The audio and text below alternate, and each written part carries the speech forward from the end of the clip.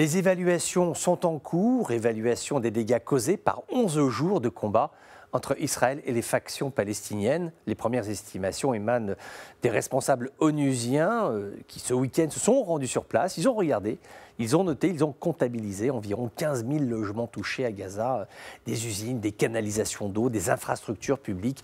Le montant total des dégâts n'est pas encore connu, au-dessus de 20 millions de dollars, c'est certain. Les Nations Unies commencent à travailler sur un budget de 22 millions qu'il faudra lever. L'Union européenne sera certainement sollicitée, mais tout porte à croire que Bruxelles va traîner des pieds, fatiguée d'investir des sommes considérables dans la région et de voir cycliquement tout partir en fumée. Souvenons-nous de la piste de l'aéroport de Gaza euh, sous les bombes israéliennes, la centrale électrique livrée euh, flambant neuve. L'Europe estime avoir dépensé plus de 500 millions de dollars dans la région pour un résultat socialement peu convaincant plus de la moitié de la population de Gaza vit dans un grand dénouement et puis un impact politique quasi inexistant. Pire, les Européens n'apprécient guère le rôle de vache qui leur est attribué de facto. Ils cofinancent ce qui est détruit par les bombes. Tout juste sont-ils tolérés du bout des lèvres dans le processus politique Sous-entendu, euh, vous n'avez aucune légitimité dans la région.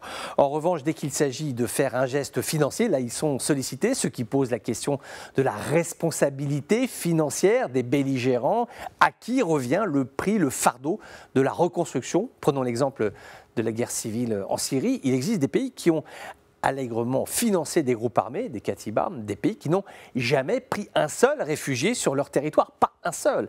Ils n'ont jamais déboursé le moindre centime dans des opérations autres que politiques ou guerrières.